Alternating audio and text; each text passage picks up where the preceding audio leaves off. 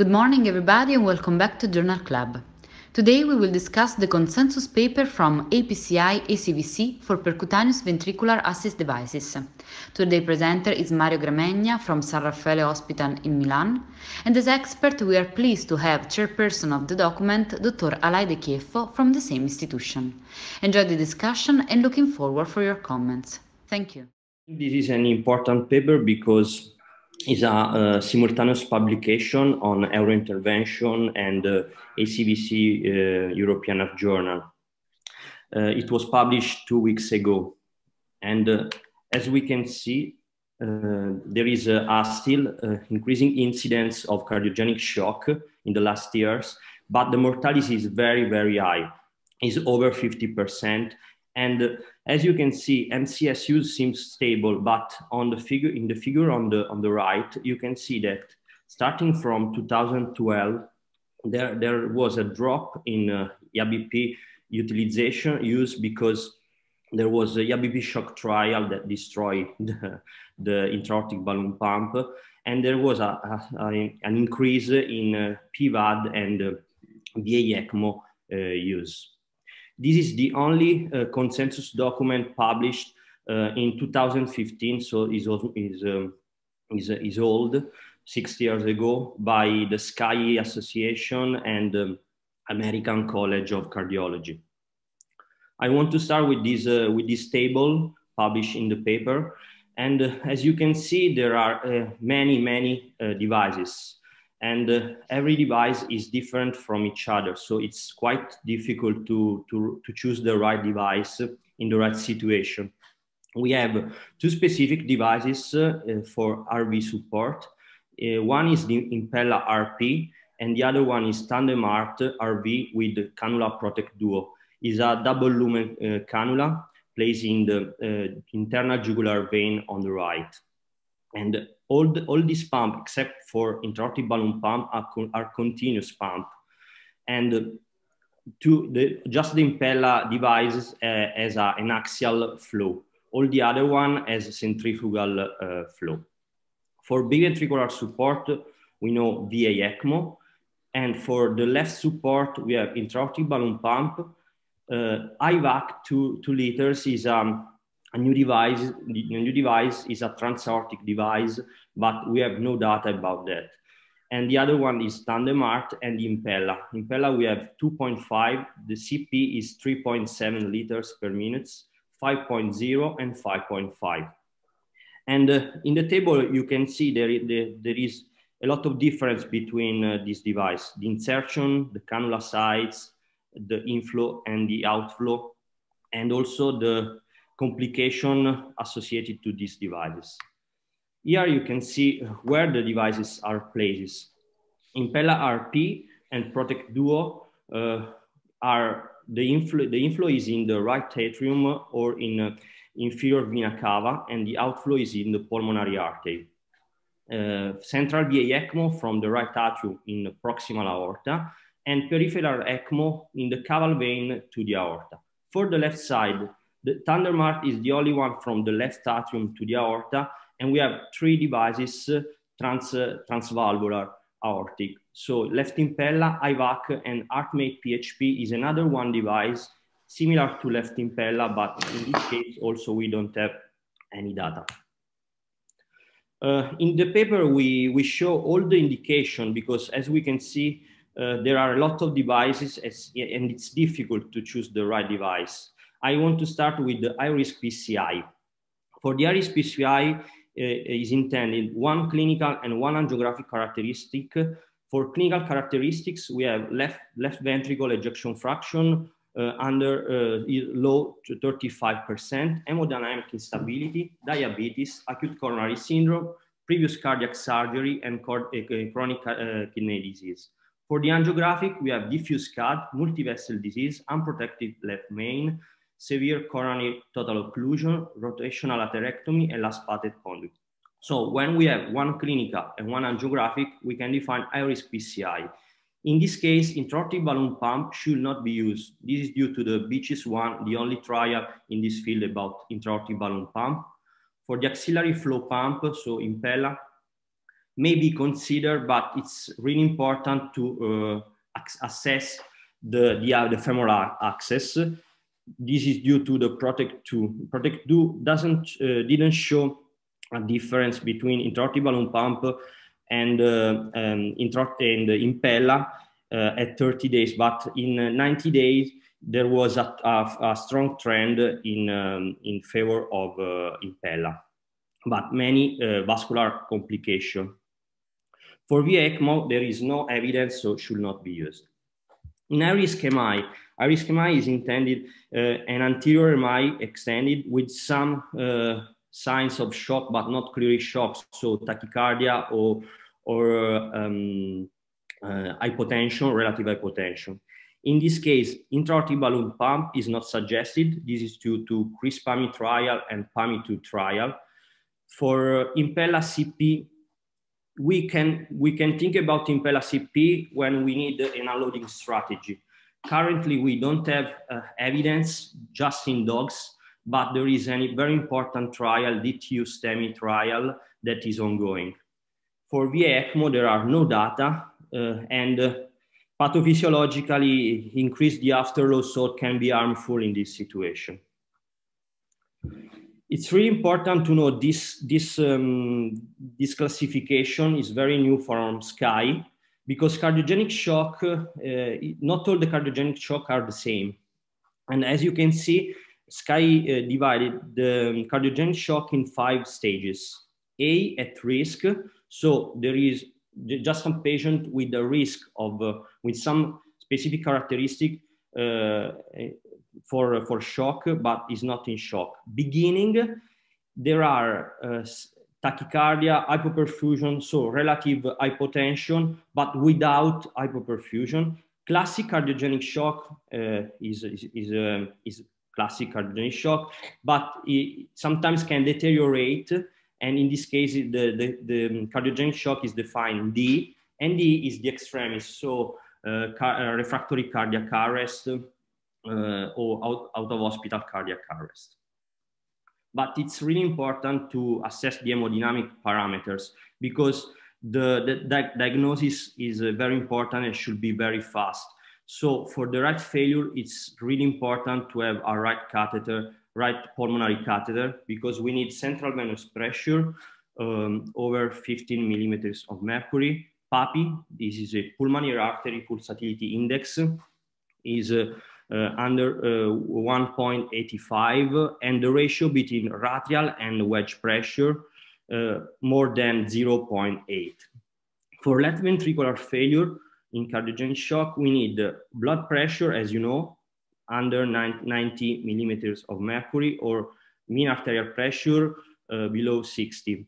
And one of cardiac index less than 2.2, cardiac power output less than 0.6, and LVDP more than uh, 15 millimeters of mercury. So when we have a cardiogenic shock, uh, we know that uh, routine use is not, uh, of IABP is not re recommended is due to IABP shock trial, but in mechanical complication due to an MI or in non-MI uh, related shock, we can use intra-aortic balloon pump.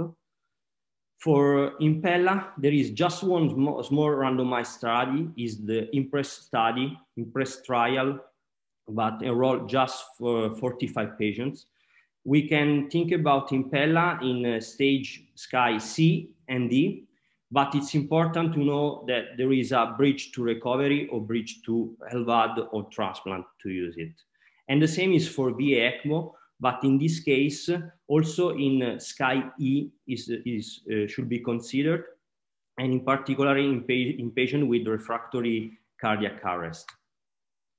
For isolated right shock, uh, intra-aortic balloon pump is not suggested because it's not specific for, for the right ventricle. So we have percutaneous right side as, as, as seen previously. So Impella RP can be used in isolated uh, right ventricular failure, but in this case, we can use just when we don't have uh, respiratory failure. In this case, we can use Protect Duo. This is a cannula that uh, can, uh, can be connected to an oxygenator, so we can use it in, the, this, in this situation. For VA ECMO, we can use in SCAI C, D, and D as we've seen previously. But it's really important. The patient should have should have a, a, a way um, bailout for um, for uh, from the the shock. Otherwise, it's futile. For biventricular assist device, of, of course, the VA ECMO, uh, we, we should use always the, the, the VA ECMO. But sometimes when the patient doesn't have uh, acute respiratory failure, we can think about to uh, Bipella. So Impella RP plus Impella CP or 5.0, 5.5. Sometimes we need a ventricular, left ventricular loading due to the increased afterload due to the ECMO. In this case, we can place an Impella with an ECPella. So when after we, we implant the Impella, uh, the problem is to how to manage the Impella, in particular the weaning. It's really hard to win a patient with mechanical support because we don't have data about that. So we propose uh, this, uh, this scheme to try to win uh, the patient.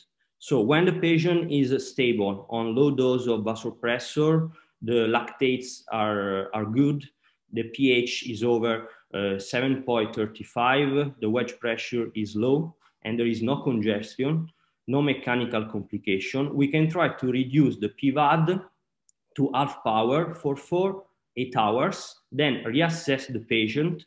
If everything is okay, we can reduce to one quarter power for four, eight hours and if everything is okay, we can remove it. Otherwise, we, we should think about an upgrade uh, of, the, of the MCS. The complication, this is a very important uh, topic in uh, PVAD because every study we, we have about uh, PVAD, in particular randomized trial, the problem is that there is no benefit compared to the intra-aortic balloon pump, but the main cause is this one, the complication. Because uh, when you put the impella, you need the impella or other MCS, you need carefully assess the, the access. It's really important uh, uh, how to insert the, the, the device, but also the manage of the device. And as we can see, there are many complications, in particular bleeding and thrombotic related complication. The most frequent is of course access related complication but very common are infection and acute kidney injury, sometimes in impella due to the hemolysis. Um, luckily, there are many ongoing trials in this field. I, I want to highlight the, the first two, in particular STEMI DTU. Uh, this is really important because it's the biggest trial in the MCS, is is enrolling, is, uh, is bigger than IABP shock trial, is 688 anterior STEMI patient across US centers, but uh, now also European centers uh, are rolling. And uh, divide, um, it, it's studying the, when, to try to find a, a paradigm shift from the door to balloon to door to, to unload. So they try to place the impella 30 minutes before prior the PCI and compare uh, to standard treatment. And, um, and the, the primary outcome is the, the, to show the infarct size at 35 days measured by cardiac MRI. All the others, most of them are uh, trial on, uh, on ECMO because we don't have study in this setting on, on ECMO. So I want to conclude with this slide. So the, with gaps in knowledge and future studies. Of course, we need pathophysiological studies that evaluate the unloading uh, in high-risk myocardial infarction and cardiogenic shock, because this is the, the basis to, uh, to try to, to, uh, to have more studies, more randomized trial, in particular DTU STEMI trial, because we need, uh, we need a shift, a paradigm shift from the door to balloon, because now the, the mortality in, cardiogen, in, in in acute myocardial infarction is quite low, is, uh, is 5, 5%. So there is something more we need to reduce uh, even more the, the, mortality and the outcome of the patient. So maybe the door, the shift from door to balloon, door to unload could be in the future uh, the best option.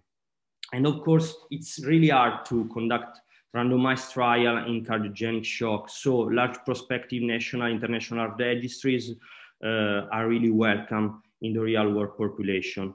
And of course, as, as we've seen, it's not, it's not easy to choose the right uh, MCS. So algorithm and protocols uh, are really needed in this, um, in this field, in particular for the timing of PVAD.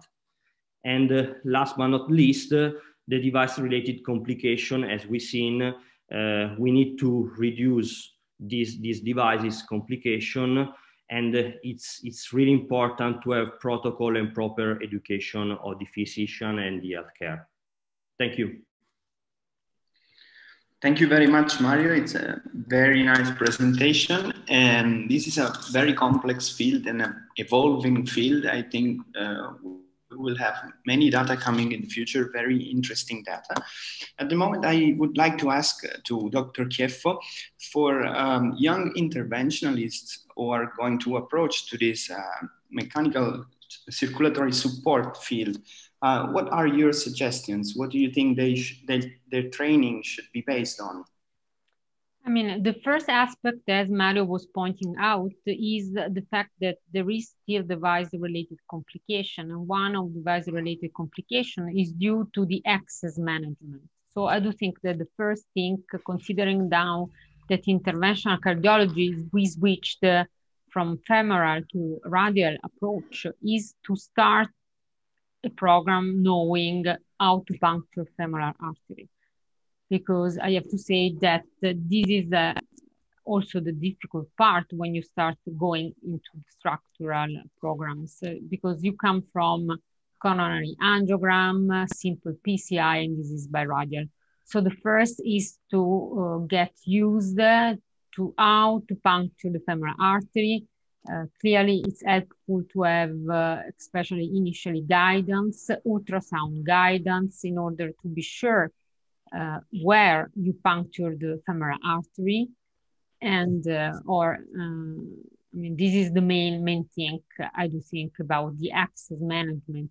And clearly, another important point is to become familiar to uh, preclosure devices it is quite discussed in cardiogenic shock if you should do that or not. There is a lot of discussion. Honestly, I don't have uh, one answer despite uh, all the work that we have been doing with so many experts with that document. Because uh, the tendency nowadays in cardiogenic shock is not to uh, preclose because they say that the device is in place for uh, days and days and there is risk of infection. Honestly, I have a big question mark on that. I think we will evolve somehow to close also that access. For indeed uh, um, protect PCI and risk PCI, you need to preclose. Uh, uh, we have the data also coming from our IMPIT registry, the national registry we did with the GISE, that the, despite the fact this is a large experience and Julia very well the data, uh, we had uh, uh, a tendency, some signal that when you preclose that access, especially in high risk PCI, uh, clearly this is going to have better outcomes. So this is the first thing. Learn how to puncture femoral artery and learn how to use closure devices. And clearly learn how to understand the complication of that, because that's another important point, I do think. And then second indication, but the indication maybe is not from the young interventional cardiology. And the man- management, we are lucky enough that there are our intensivists that can, I mean, if the device has to be in place, this is their job. And we are very happy about that because it's very, very complex. I think the management in intensive unit there. Thank you. I think that this is really a good chance to get used also to uh, follow this patient in the ICU thereafter because it's a very important part of the mechanical support and also the weaning, as Mario told us, it's a very difficult part of the job. Um, do you have any questions from the audience? Yes, I have some question.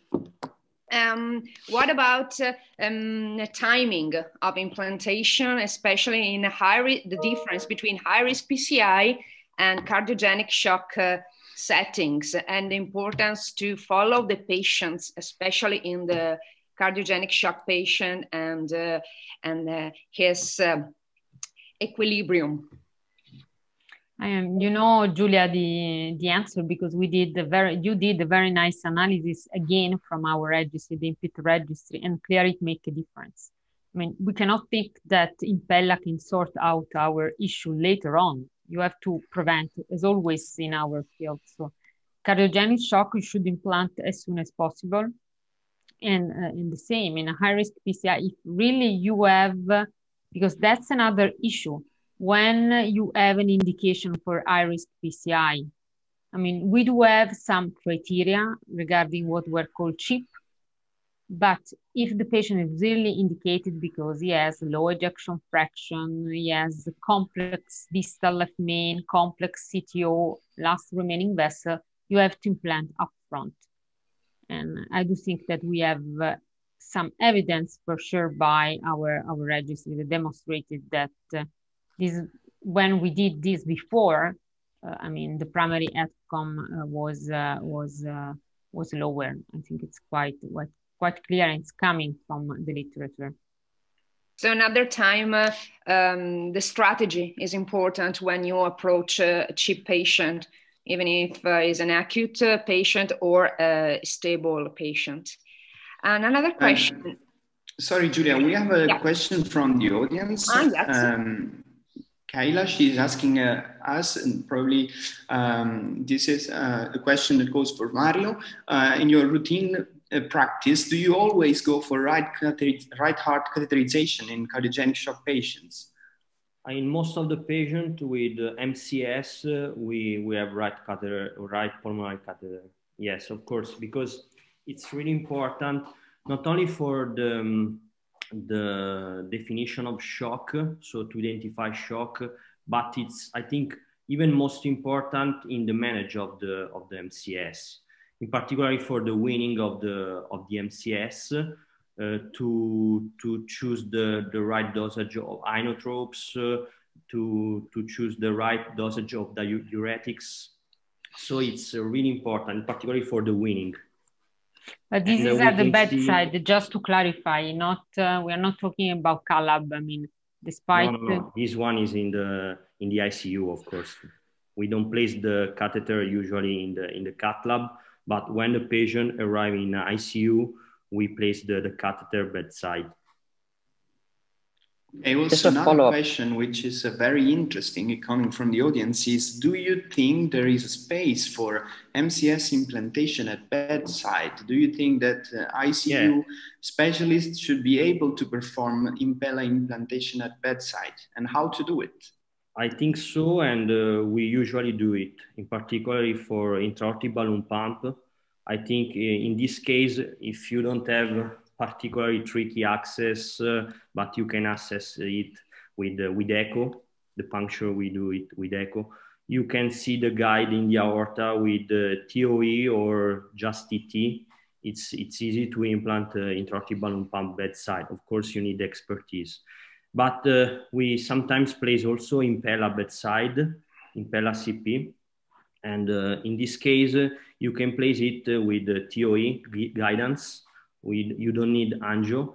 And uh, we, we have a very good uh, outcome in, the, in this case. Uh, usually the position of the impella when we place the impella bedside with TOE is, uh, is, is quite good. It's really good because uh, we can assess with the echo from the beginning. So I suggest to use the TOE also in, in the cath lab. It could be very helpful to, to have the impella in the, in the right position. Now, clearly, this is coming from our experience in our yeah. hospital, where our uh, cardio intensivists are extremely expert. In the general other hospital, which is not San Raffaele, I would suggest to do this in cath lab again for access management. The issue is the access management. And especially if you want to preclose the access, I do think, honestly, you should do it in the cath lab. Then you have a specific center like ours. We are a shock center. We have so many, so talented people in intensive unit care, but they are, I think, unique. And I don't know how much this can be reproducible in other reality. In other reality, maybe we should uh, indeed uh, just use the cath lab clearly. If it's busy, the cath labs, uh, and you need to do, you have to do. And the other point is the guidance of TOE.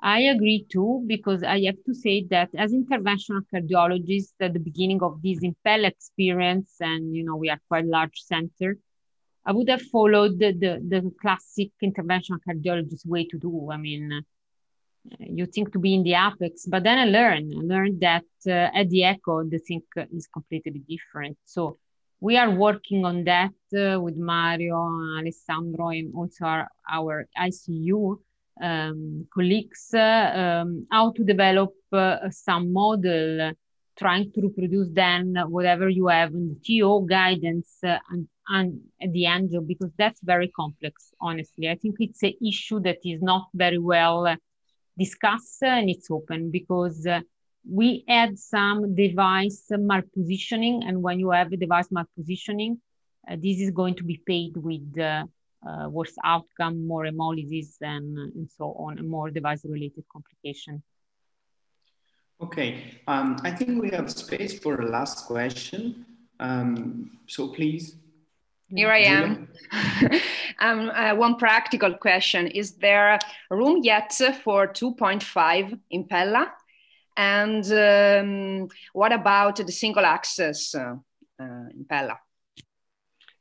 Okay, 2.5, honestly, uh, not so much. I would say only in very small ladies, very small ladies with difficult access, but otherwise, honestly, we especially with the new Impella, it is CP. As you know, also in the, for example, in DTU trial, it's uh, CP. There is no 2.5.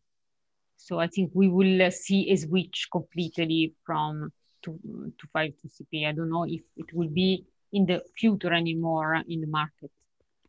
And one access, that's a very good uh, point. I think it's a very good strategy. We don't do this uh, routinely, but it's just by school but I think this is one of uh, the skills again uh, that maybe we should learn and we should teach to our young interventional cardiologists because it's the key for tomorrow. Because the other problem is uh, they will ne- is it the, is there the possibility that these devices are getting smaller access? And I think Impella they are working since years to get it smaller they're doing some some works, but I mean, I, I don't think it will never get to be in a radial radial artery. That's the point, no? There are other technologies working on that, but let's see. Okay, thank you very much. I think we are Sandro, I just have on one, time. Arif, please. I just have one Yeah. final question. As a follow-up question, more and a, and a practical thing, and this is both to Mario and also the interventionists uh, joining us.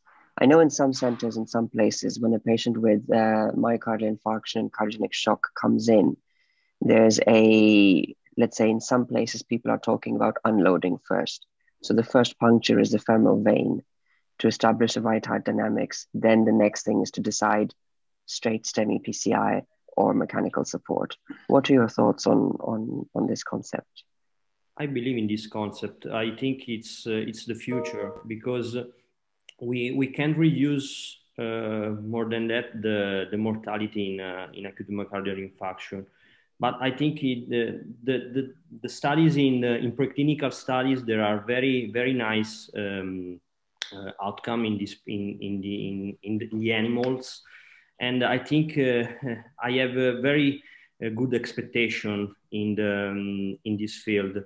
Uh, I I think the Impella the unloading prior the PCI can reduce the infarct size. And so this is really important in the outcome of the patient to reduce the heart failure and uh, the mortality in, uh, in STEMI patient.